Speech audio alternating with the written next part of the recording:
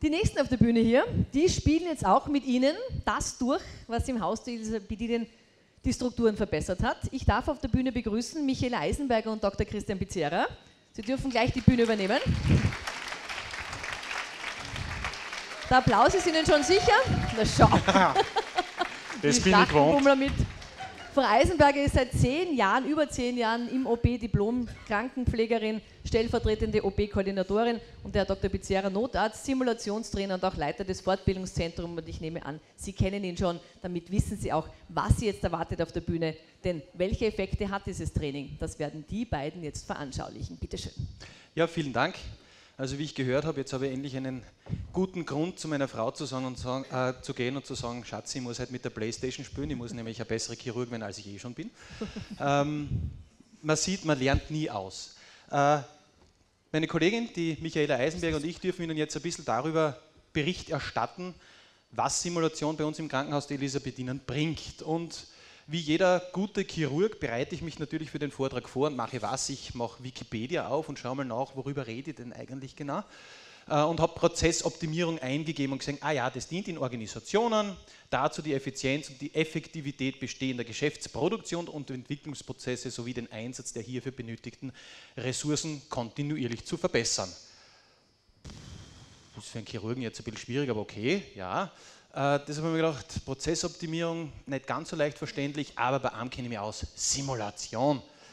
Habe ich im Internet nachgeschaut und bin draufgenommen, auch unter Simulation kann unterschiedliches verstanden werden. Hier zum Beispiel sieht man das Training der italienischen Nationalmannschaft. Sie bilden halt ihre eigene Realität ab. Hat mir ganz gut gefallen. Ja, doch, doch, nicht so schlecht. Ähm, und dann bin ich natürlich wieder bei Wikipedia hängen geblieben und endlich etwas, mit dem ich sehr gut umgehen kann, ein einfacher Satz. Bei der Simulation werden Experimente an einem Modell durchgeführt, um Erkenntnisse über das reale System zu gewinnen. Und das ist es wirklich. Jetzt kommen wir zur Prozessoptimierung im Krankenhaus der Elisabeth in Graz. Sie sehen, es kommt ein bisschen.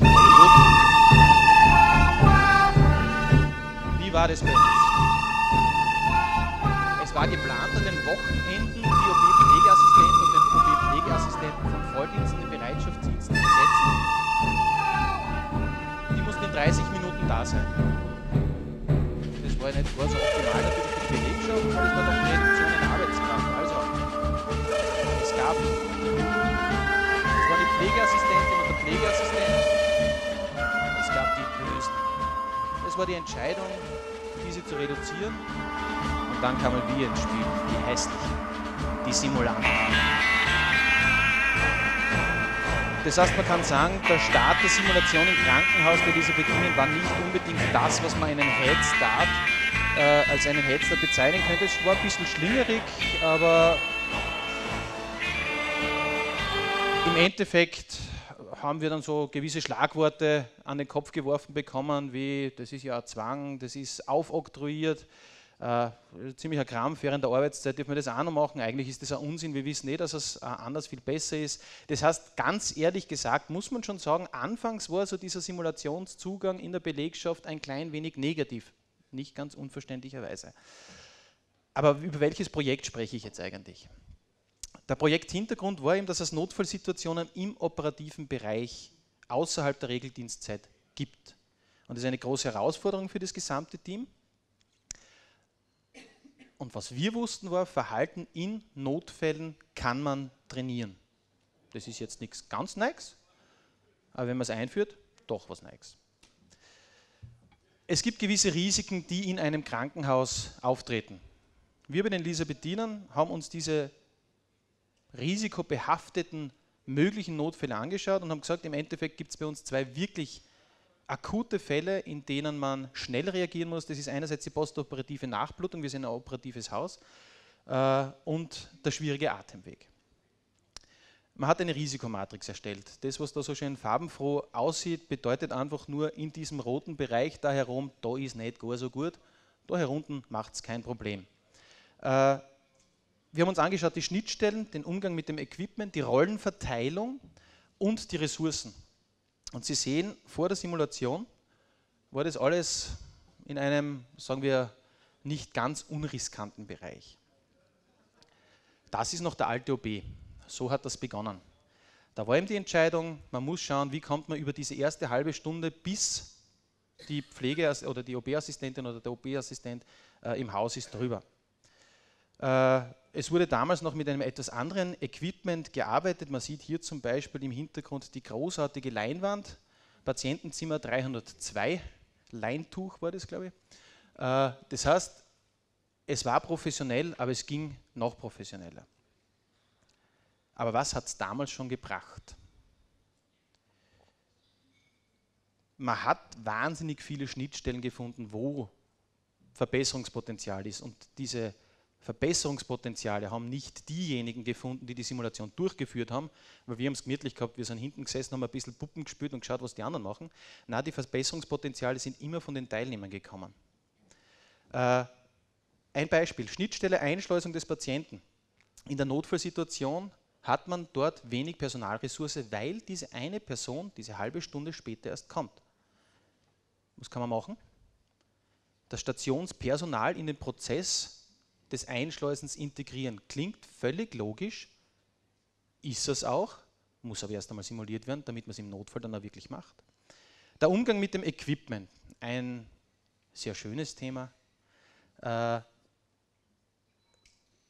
Im Notfall-OP war es anfangs so, dass es nicht nur ein Kistel gegeben hat, wo man für den Notfall alles gleich drinnen hat, sondern es war alles irgendwo. Irgendwo, also für mich, Chirurgen, war es irgendwo. Für die, die dort gearbeitet haben, die haben es ganz genau gewusst. Aber die haben selber gesagt, pass auf, wenn wirklich ein Notfall ist und ich wenig Zeit habe, warum gibt es nicht ein Kistel? Und da ist das drinnen, was wirklich notwendig ist. Das heißt, wir haben gewisse Prozessabläufe auch mit Checklisten standardisieren können, also wir alle gemeinsam. Und anderes Personal ist auf Gerätschaften eingeschult worden. Als Beispiel die Anästhesiepflege auf den Kauter. Ich meine, das ist jetzt nicht so großartig schwierig, denkt man sich, dass man da ein Steckerl ansteckt und einmal irgendwo draufklickt und einschaltet. Wenn man das vorher noch nie gemacht hat und das erste Mal im Notfall machen muss, wo man vielleicht doch schon ein bisschen aufgeregt ist, weil der Patient halt, wie wir schon vorher gehört haben, ein bisschen blauer ist als im Normalfall, dann kann das durchaus zu einem Problem führen.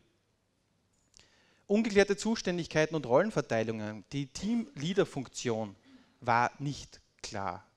Unterlassenes Team-Timeout in Notfallsituationen. Das Team-Timeout ist ja aus der Simulation entstanden, wird vor jeder Operation durchgeführt und im Notfall denkt man sich, komm, hallo, die 15 Sekunden Team-Timeout, die kann ich mir sparen, weil jetzt geht es ans Eingemachte.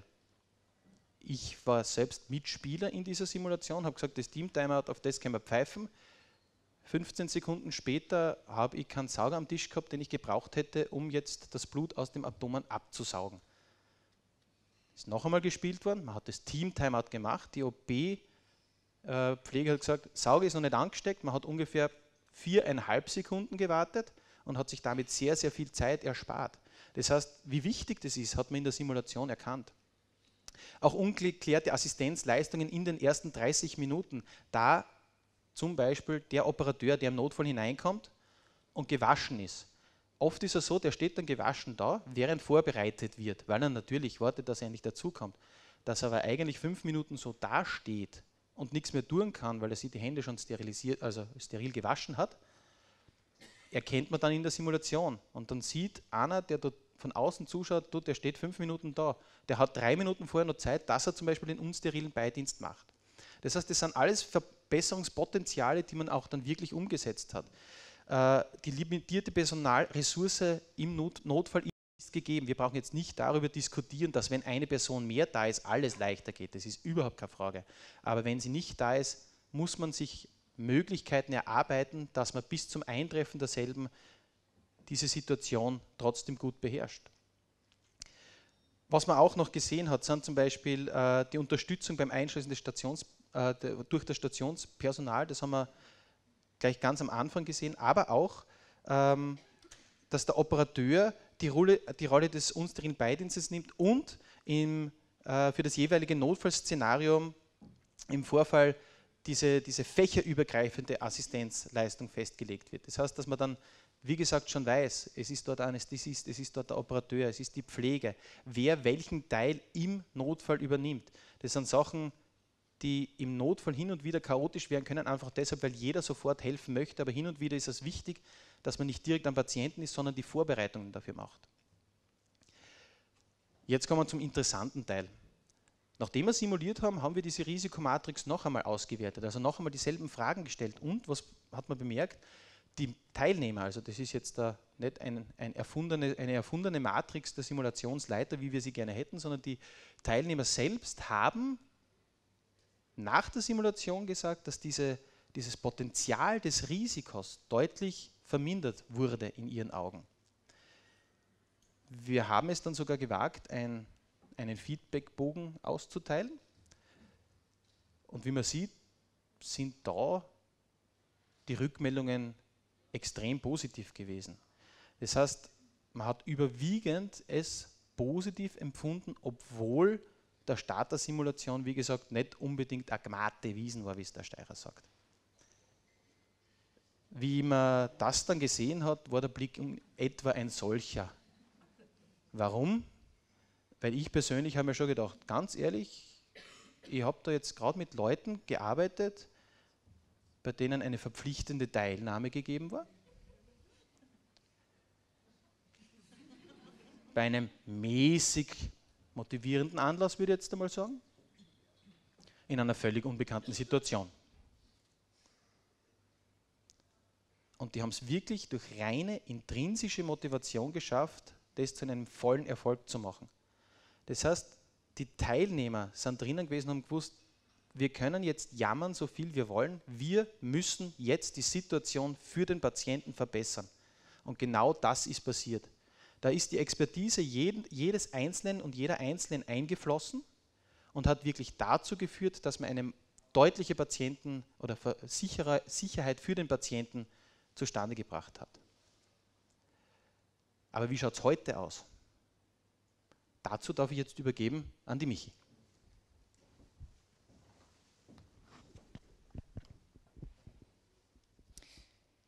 Ja, ich darf Ihnen jetzt erzählen, wie Simulationsszenarien bei uns im Hause ähm, erstellt werden, beziehungsweise wie die Durchführung des Simulationstrainings passiert. Wir haben hier eine methodische Vorgehensweise, die immer nach diesem gleichen Schema abläuft. Das ist ein Sim-Stufenschema. Zunächst wird das Problemfeld definiert. Dieses passiert in einer moderierten interdisziplinären Arbeitsgruppe. Hier wird überlegt seitens der Mitarbeiter, was möchten sie gerne trainieren, aber es können auch Ziersfälle berücksichtigt werden. Dies muss dann eben im Vorfeld dann mit den Vorgesetzten genau abgesprochen werden. Wichtig ist bei der Erstellung des Problemfeldes, bei der Definition, dass es sich hierbei wirklich um ein realistisches Problemfeld handelt, also um realistische Notfälle. Bei der Erstellung von den Simulationsszenarien, die werden mittels Drehbuch eben unterstützt. Also äh, es handelt sich hierbei darum, dass ähm, dieses Drehbuch dem Instruktor als Leitfaden dient. Es ist der zu erwartende Weg im Prinzip schon im Vorfeld in dieser interdisziplinärischen Arbeitsgruppe mit den Mitarbeitern und auch zusammen mit den Vorgesetzten äh, überlegt worden, wie werden die Mitarbeiter reagieren, in weiterer Folge, wie wird die Puppe bei dem Szenarium dabei dann reagieren. Dadurch, dass dieses Drehbuch auch ein Leitfaden für den Instruktor ist, ist dadurch nachher auch gewährleistet, dass die Simulationsszenarien immer nach diesem Prinzip ablaufen und dass auch die Messbarkeit und Vergleichbarkeit gegeben ist. In weiterer Folge werden dann die Erfolgskriterien und Messparameter in dieser Arbeitsgruppe festgelegt. Das bedeutet, dass man hier ganz gezielt Parameter festlegt, beispielsweise Zeitpunkte, die es zu erreichen gilt. Äh, es werden Zeitpunkte gemessen, beispielsweise vom Auflegen des Patienten, wie lange dauert es, bis dann der Schnitt erfolgt, auch bis wichtige Entscheidungen getroffen sind, wann wird die Tracheotomie, die notwendig ist, durchgeführt, wann werden alternative Zugänge gelegt. Das sind Parameter, die alle im Vorfeld festgelegt werden. Das Simulationstraining wird dann nach folgenden Kriterien durchgeführt sind die oberen drei Punkte soweit definiert. Erfolgt die Simulation direkt vor Ort mit den Mitarbeitern unter einer Videodokumentation. Und anschließend an jeden Simulationszyklus haben wir ein sogenanntes Debriefing, mit dem wir eben die Optimierungsmaßnahmen für den nächsten Simulationszyklus festlegen können. Dahingehend die beiden Punkte hat der Herr Welde schon in seinem Vortrag angesprochen und Sie werden das dann heute noch im Laufe des Livestreamings dann sehen.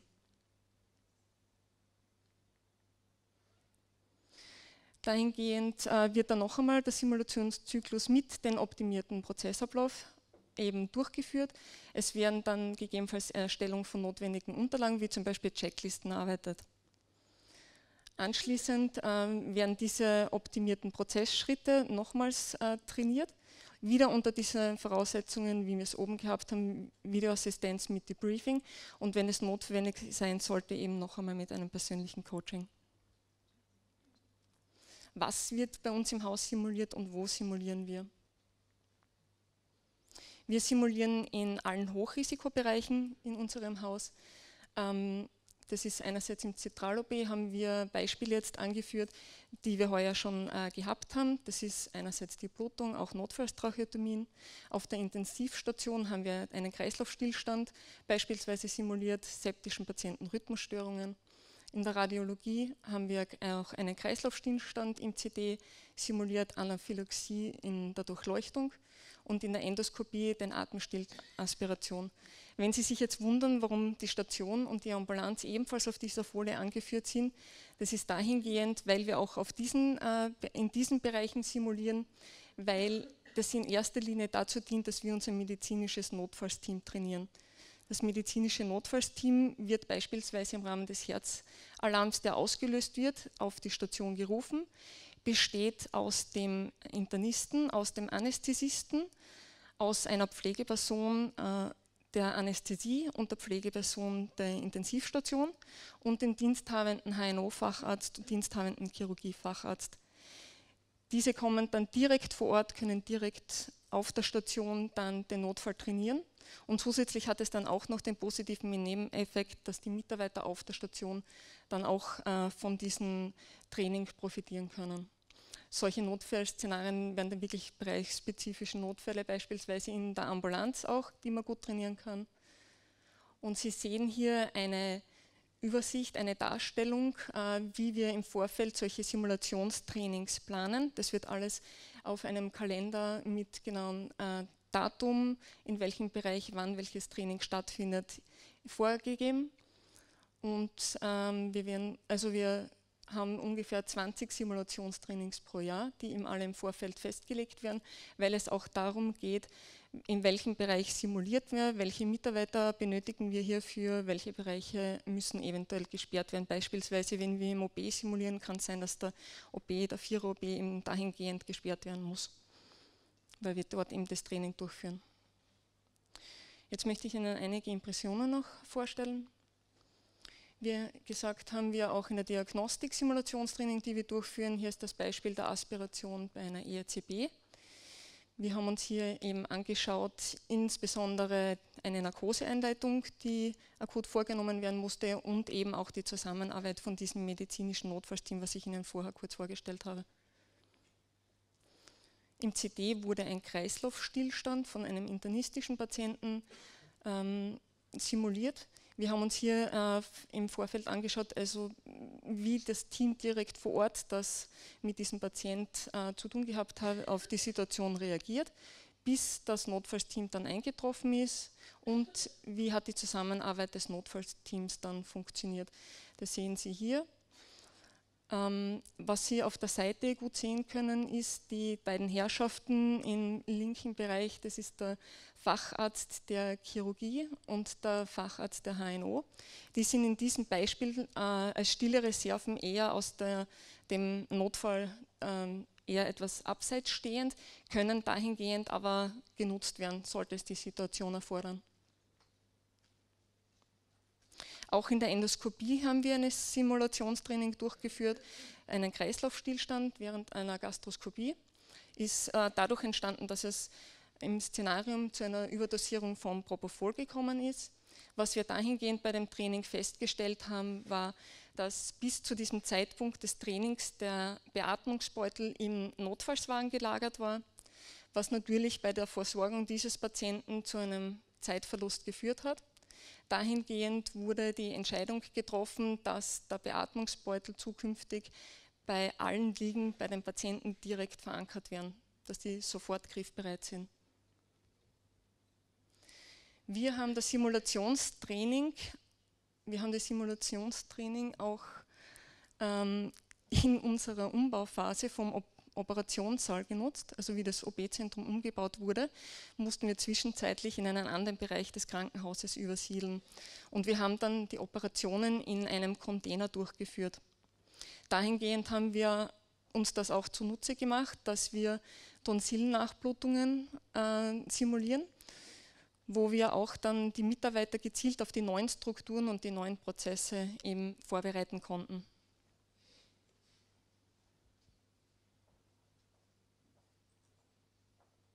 Ebenfalls im Container wurde die Milzruptur simuliert, mit der Besonderheit, dass zu diesem Zeitpunkt, wo der Patient in der Schleuse eintrifft, kein freier OP vorhanden ist.